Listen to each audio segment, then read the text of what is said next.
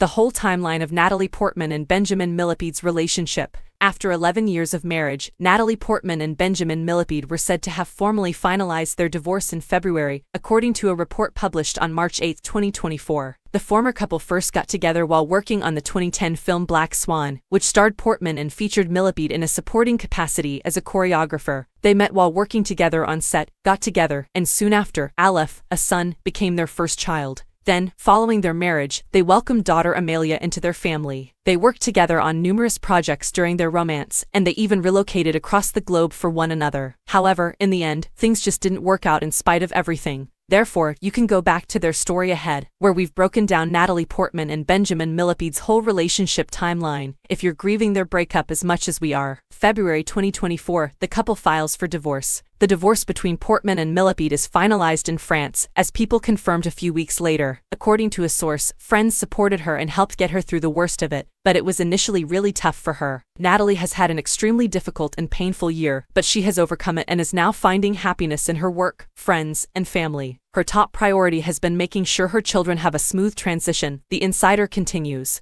She and Ben are devoted to being the best co-parents they can be and genuinely love their children. There is nothing more significant. Natalie files for divorce in July 2023, less than a year after commemorating their 10th wedding anniversary.